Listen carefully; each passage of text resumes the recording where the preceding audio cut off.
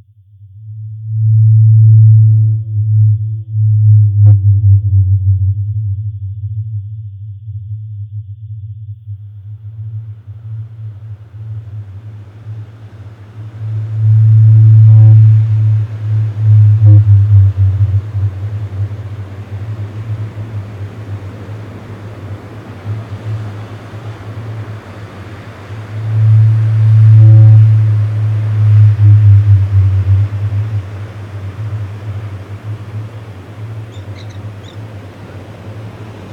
was a boy, I believed that the sea was boundless and indestructible to human pressures. Now I know better. No fish living there because they destroyed their habitat. As a nation, if we're undermining the traditional maritime use, we need Or climate change, land-based source of pollution, habitat loss and degradation, And you start taking away somebody's rights and liberties, there's going to be a moment of truth for everybody. Everybody says, put it out there. Who cares what happens out there? Let's just get it out of my sight. What's on Mars, Most of the world's coral reefs are bleached or dying. There are dead zones the size of small states off our coasts. Growing into a salmon disaster, you know, and then we had a groundfish disaster. Most of the biggest fish have been harvested, and there are places where jellyfish have become the catch of the day. Drowning these organisms in noise. And all at a time when we have to deal with aquaculture, wind and wave energy, even oil and gas exploration that are staking claims in our waters. The government's gonna do it, and they're gonna take everything. But I have also learned there's a smarter, more lasting course than the one we're on.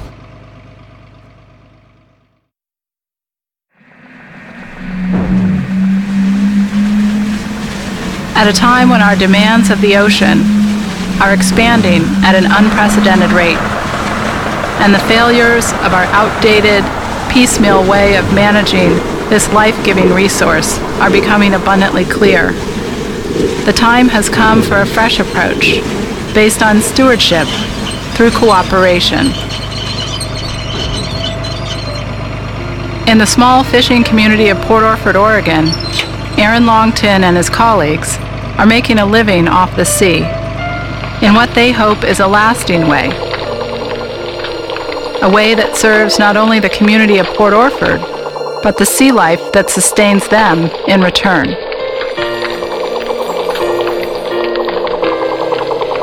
Port Orford's long-term outlook for the waters that feed them is part of a blossoming movement to take better care of the ocean for the good of all. It is a movement of scientists, businesses, fishermen, farmers, governments, and citizens who care for the sea. When you rub it one way, you'll notice that it's smooth. Oh, and if you rub it the other way, it gets a little bit rough. It feels like sandpaper, right?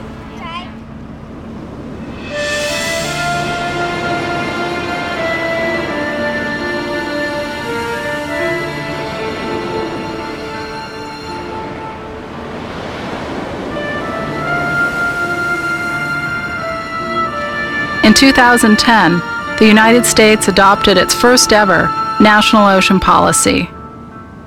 A policy that now calls for bringing together people from across the societal spectrum to carry out a new, far-sighted strategy for sustaining the country's ocean, coasts, and Great Lakes.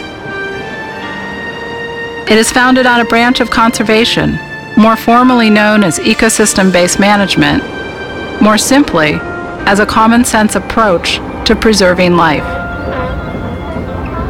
It is backed by science and based on the needs of the human community in balance with that of its ecological provider, the sea.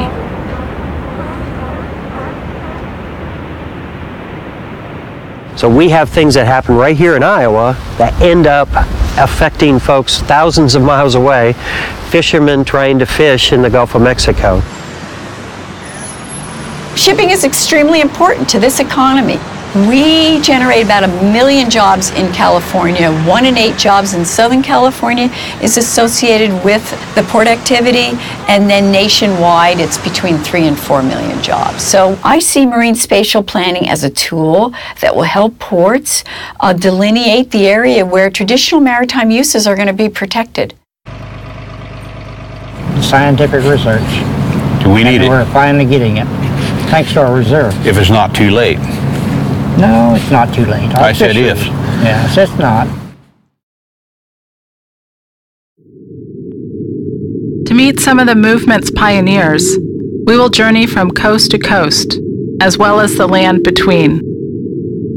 From the fishing community of Port Orford, Oregon, to farmers along the Mississippi River, to the Gulf of Mexico.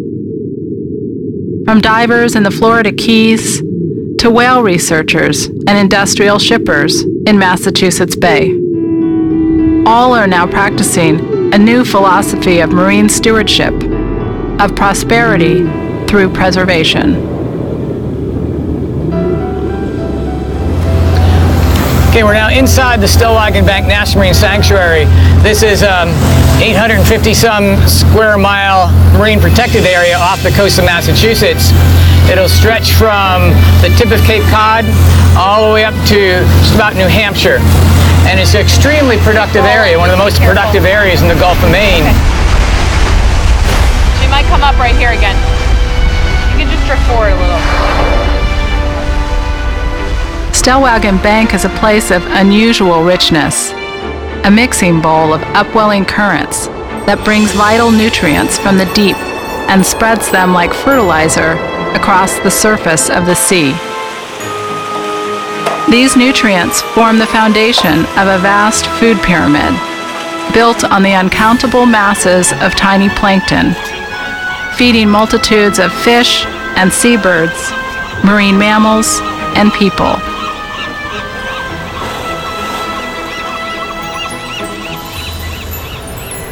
When in 1992, Stellwagen Bank became a National Marine Sanctuary, it inherited a long and busy history of boat traffic. The sanctuary's waters are plied by all forms of vessels, and that has posed a growing challenge for the largest and oldest residents of Stellwagen.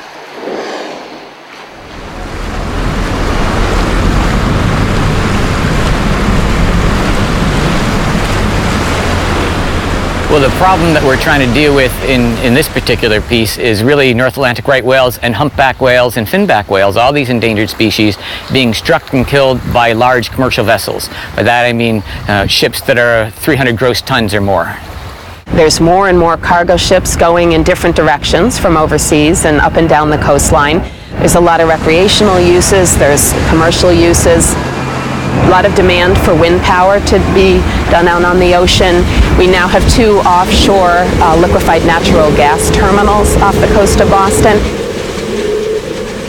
What was shaping up to be a collision of commerce and conservation at Stellwagen turned on a new path of cooperation. And there's all these competing uses for the ocean, and they're all valid, and there's stakeholders standing behind all of them, and we need to find a way to help them coexist and to uh, make sure that we preserve our resources for future generations. Knowing that some of the rarest whales in the world were dying in the shipping lanes of Boston Harbor, the Massachusetts Port Authority, Dave Wiley, and the shipping industry together set out to save them.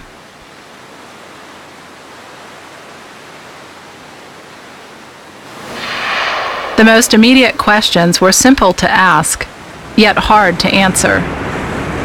Where do the whales feed? Where do they congregate? Where are the commercial ships traveling? And how fast? The answers eventually came by way of millions of little bits of data. All vessels 300 gross ton or larger are required to carry an AIS system or automatic identification system that was developed between us and the Coast Guard. And the way that we've done this is we've set up three antennas across the sanctuary. And the idea is that we can triangulate and get full coverage throughout the entire sanctuary. So what happens is the ship comes through the shipping lane or any other parts of the sanctuary. It transmits a signal every two to ten seconds, giving its ship's information plus also its latitude, longitude, and speed and where it's heading and what type of vessel it is. Stellwagen's lab collected more than 150 million records each year, pinpointing all the large ships within the sanctuary. Coming up, coming towards us. Determining the whale's whereabouts required different skills.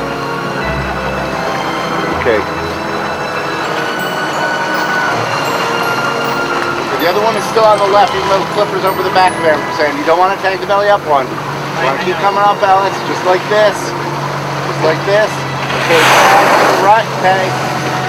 Good placement. Wait till she brings her back up. You're right on the right spot. Let her wait, let her bring it up. Let her bring the back up. Let her bring the back up now. Oh. Perfect. Perfect. Whale researchers once relied solely on boats and planes, catching mere surface glimpses of a creature whose wanderings reach to the hidden depths of the sea. With the help of Woods Hole Oceanographic Institution, Wiley and his crew employed a new device called a D-Tag, a miniature computer harmlessly fastened to the whales with suction cups. Coming up, Alex. Eric, you want to swing to the right a little bit? Swing to the right. No, no. Under the bow, on the right. Okay, come to the left. Come to the left. Come to the left. Come to the left. Come to the left. Up, down. Perfect. Oh, oh man, beautiful. Wow. Very beautiful. All right. When the tag detaches from the whale, a radio beacon leads scientists to its location to retrieve it.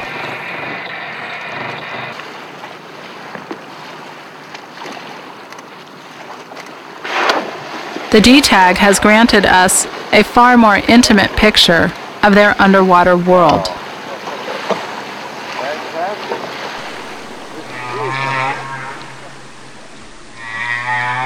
This animation is based on the information gathered from the D-Tag. Here we see the feeding behavior of humpback whales as it has rarely been seen before.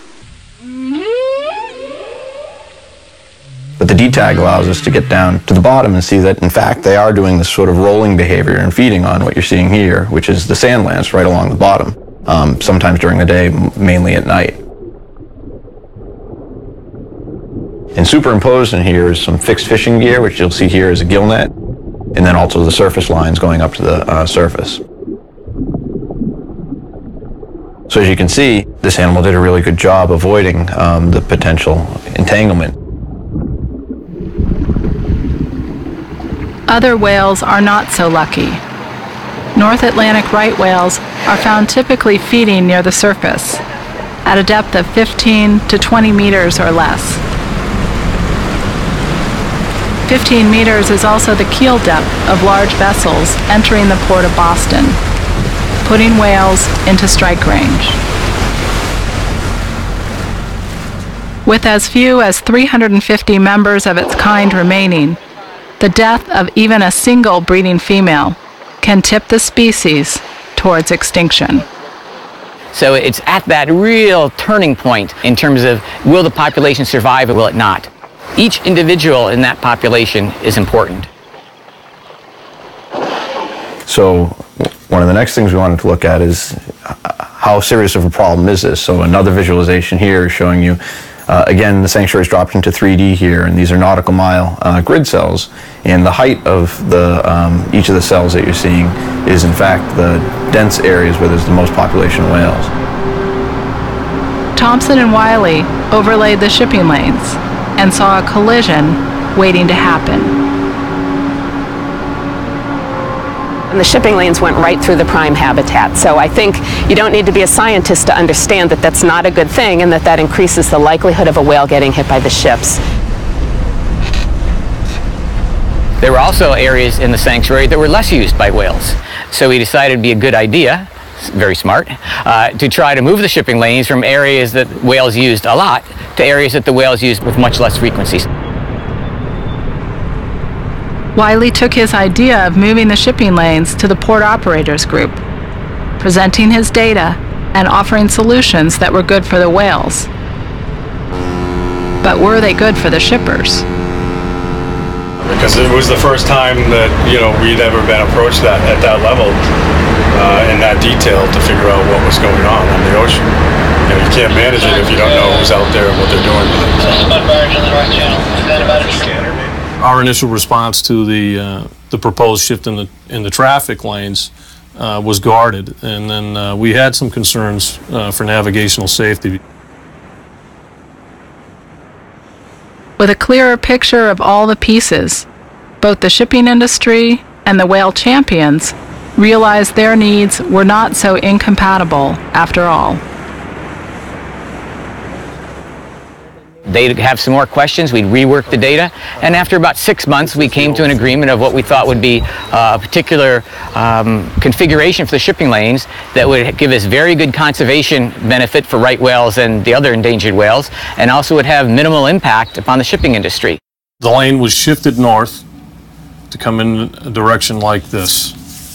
This would represent what the new shipping lane looks like as opposed to the old one.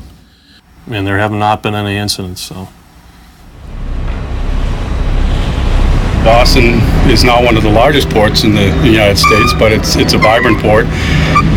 And the thought being that you know if we're going to continue to have traffic in and out of port, which we are, that let's take some steps to reduce the risk of a, of a strike. The last thing that we want to do is to, to harm one of the animals with a ship. And, and, and nobody wants to do that. The shippers don't want to do that. The pilots don't want to do that when they're on the ship. So we, we want to take the steps and we educate the, the captains and everybody involved so that that risk is, is reduced. Yeah. I think it's much better when you have buy-in from the industry on this sorts of decisions and if everyone from the Port of Boston was screaming and yelling and calling their politicians, it can really derail this sort of process to the detriment of the whales. There's been close to 100% compliance with the ships following the, the uh, voluntary lanes and I think that's testimony to how much the industry really embraced it.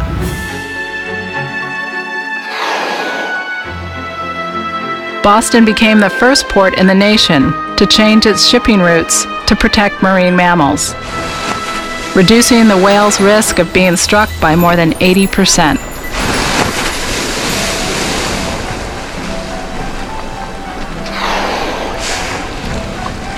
But there would be little time for celebration.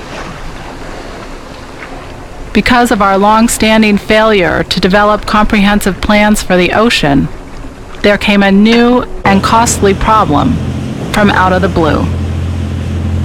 The project is a real good example of why marine spatial planning is really a key for um, managing the ocean in the future. Because at the same time we are moving the shipping lanes, the liquid natural gas companies through the Deepwater Port Act were working to put two deepwater ports uh, just a few miles from the sanctuary border. And in the area that we were moving the shipping lanes to. Now you can't have shipping lanes and deep water ports coexisting. So now we had in conflict a project that was very important for endangered whale conservation and of course the LNG very important to the nation for energy independence and security. So he said, well, you know, we've just moved the shipping lanes to try to reduce the risk, and now you're going to be bringing these big, fast ships through the sanctuary. That's going to increase risk. So we need to do something to keep that from happening. Again, the questions to Stellwagen's new dilemma would eventually be answered by the whales.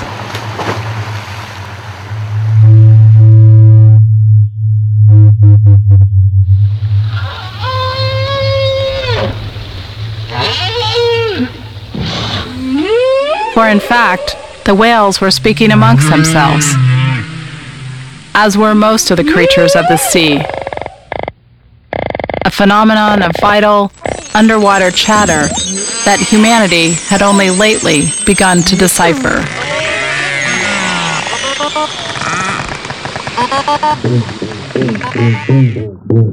Well, there are no deaf marine vertebrates. Fish, they're all hearing.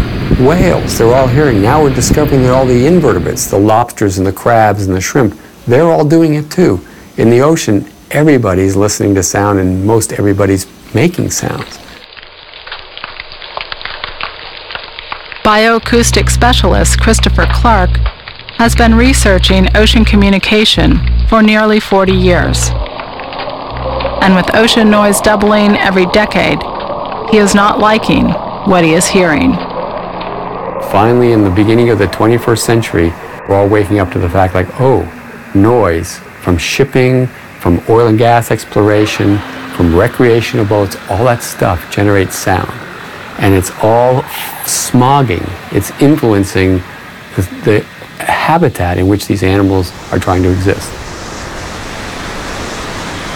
Research on ocean noise pollution has raised serious questions about its impact on marine life, such as its potential to disrupt the schooling and spawning of fish, or preventing young corals from finding their home reef to build upon, or its profound impact on whales. What I'm going to show you now is a movie where we're actually taking real data collected in the ocean.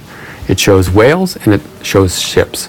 Each one of these lightning bugs or stars represents the position of a right whale and the space over which that glow, that aura, radiates is the space within which that animal can communicate with other whales. Now we're going to actually put the real ships in there. We know what the acoustic footprints look like from the ships, and those are going to be illustrated in color. And so the, the brighter it is, the louder they are.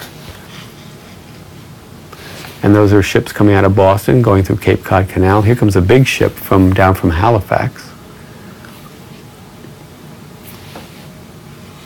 And notice the space. This is what I call the footprint. This is the acoustic footprint that that, that ship is imposing into this habitat, into the acoustic habitat of the whales.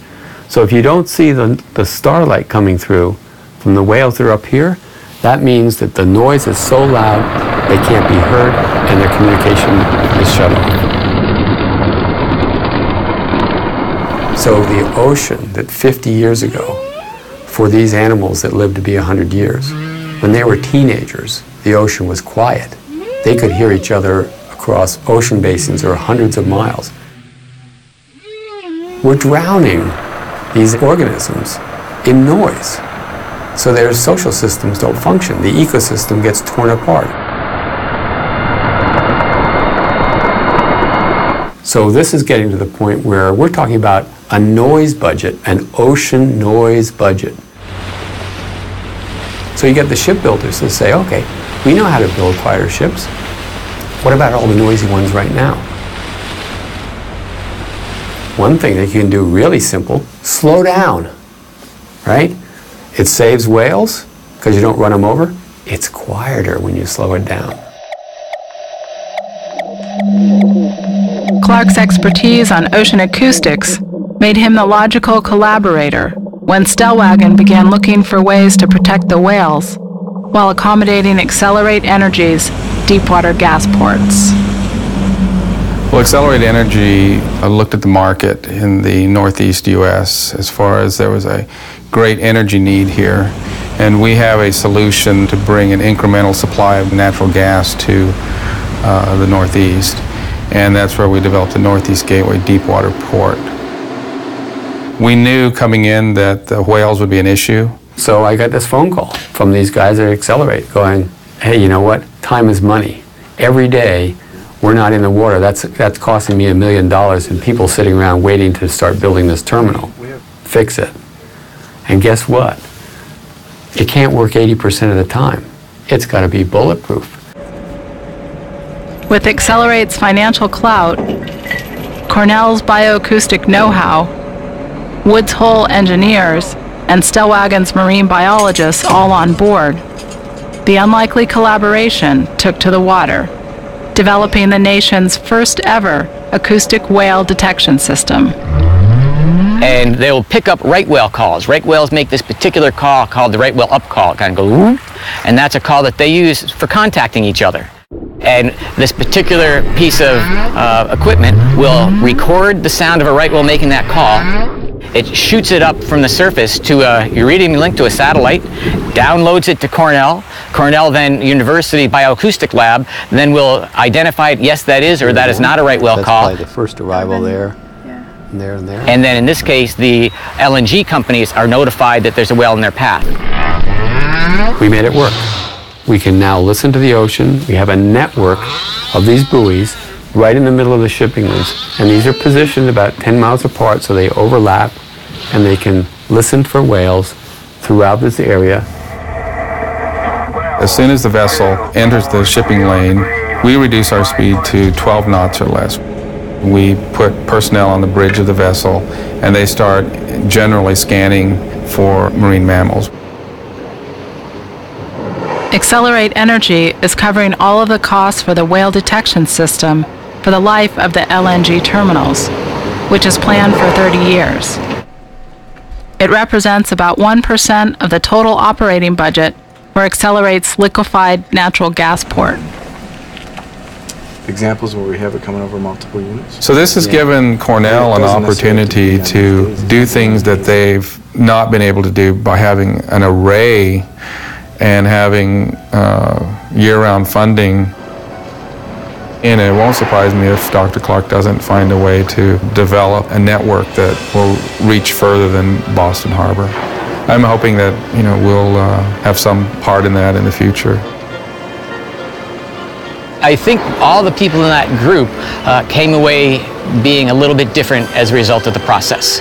Um, you know, certainly the, the conservationists and scientists could understand the industry point of view a little bit better. Certainly industry could understand the science better and, and the conservation need. So if we work together on something in the future, which I'm sure we will and we actually are, um, I think it'll go about a bit easier. We have more confidence in each other to, to act in a, a straightforward and honest manner, I think, at this point. The success at Stellwagen has illuminated the power and promise that collaboration, better science, and better planning hold for our ocean. So I see this as a huge opportunity to finally pay attention to the ocean. There are a lot of people that are knowledgeable about the ocean, and what we're starting to do is sort of integrate that into in sort of more comprehensive vision of how does it work and how do our actions impact that ecosystem.